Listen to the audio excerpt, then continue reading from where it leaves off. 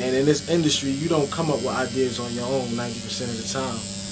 90% of the time, it's actually, you know, just sitting in the studio and the people around you, they energy, they vibe, they notions. You know what I'm saying? You pick up on on the shit around you, and that's how you come up with these masterpieces that you hear on the radio, and you know what I'm saying? It's just um collective thoughts. You know what I'm saying? Okay, there was a lot of rumors that uh, Shot Caller was your song. Is there any truth to that? No. Nah, never shot.